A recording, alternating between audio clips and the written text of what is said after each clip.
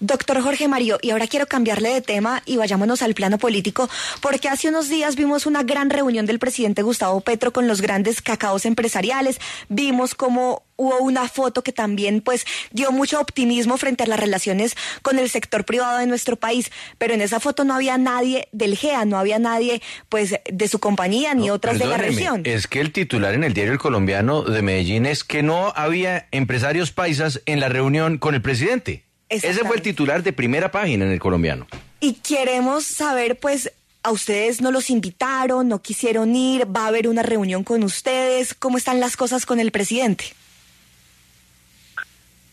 Eh, Luisa, no, a mí no, no, no me invitaron, eh, digamos, no, he invitado. Eh, pero, pero déjenme como elaborar un poquito sobre ese tema. Eh, yo creo que las conversaciones de los empresarios con el presidente de la República pues son importantes, son eh, provechosas. Eh,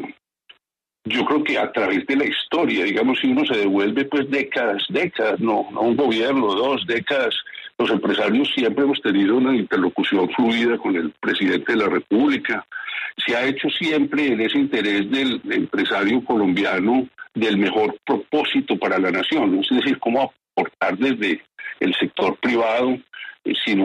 sin buscar un beneficio particular de su empresa o de su negocio, más bien cómo como empresarios podemos ayudar a continuar aportando desde nuestra orilla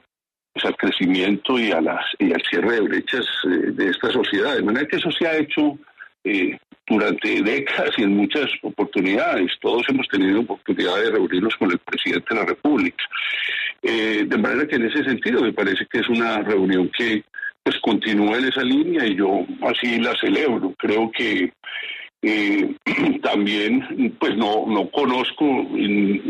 digamos, más allá de las declaraciones que dio el presidente de la República sobre unos conceptos generales de inclusión y de trabajo y de participación en zonas apartadas que todos compartimos pues, los términos de la conversación. Pero yo espero que esta reunión también haya servido para, en esos diálogos francos,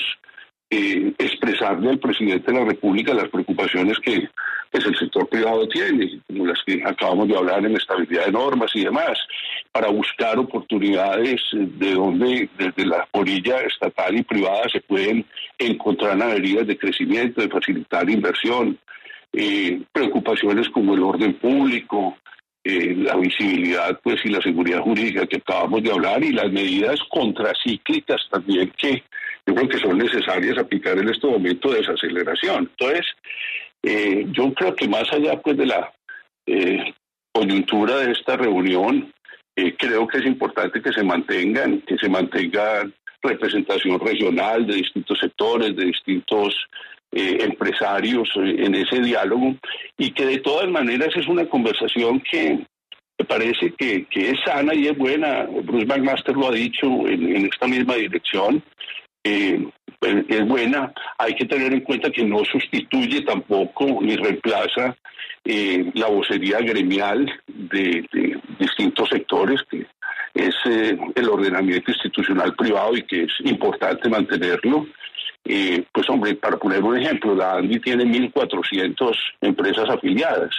de suerte que pues yo tengo enorme admiración, respeto por los colegas que atienden esta reunión u otra o en las que estén, eh, son elementos de conversación complementarios también a los que los gremios que tienen una representación pues de,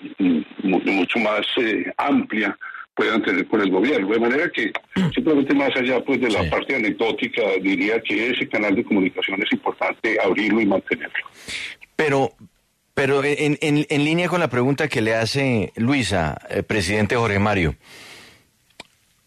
¿hicieron falta empresarios países en esa reunión? ¿Usted cree que en ese encuentro que hubo en Cartagena con, con algunos de los empresarios más importantes del país, debería haber habido, aunque fuera un representante de las grandes empresas, de los grandes conglomerados antioqueños?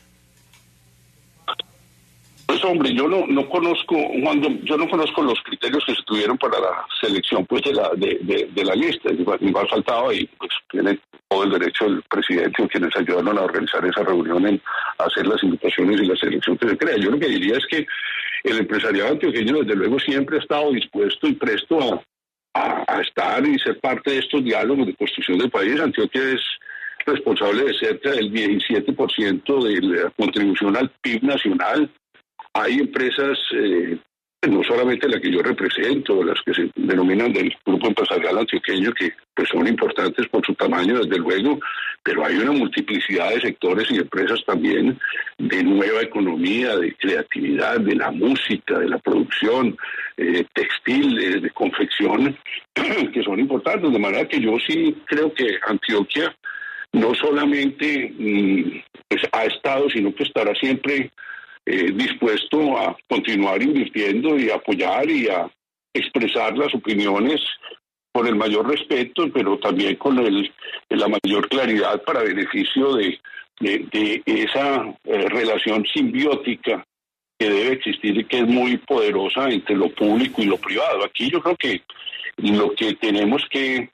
eh, fortalecer es la visión de que pues hay una posibilidad enorme de que mm, el trabajo de lo privado con lo público sea un acelerador de crecimiento, de equidad, como pues se está materializando hoy en la discusión de las asociaciones público-privadas en la infraestructura, pero hay muchos otros sectores, de manera que, que sí, yo creo que esa representatividad, y, no solamente Antioquia, yo creo que en general el país eh, empresarial es diverso,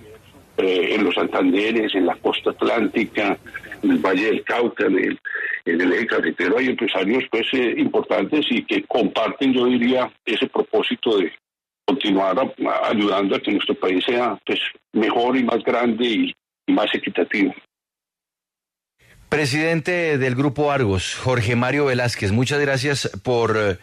esta comunicación con la W y celebro mucho ese tono optimista y conciliador que, bueno, yo quiero señalar que hay que destacar en una jornada como esta en la que estamos diciendo en la W, hagamos una pausa y hay que hacer una pausa en las tensiones y sobre todo en tantas y tantas situaciones que no han hecho sino generar disenso en Colombia cuando lo que más le ayudaría al país es ponernos de acuerdo. Gracias, presidente, por estar con nosotros. Juan Pablo, a usted, a toda la mesa, un saludo muy especial.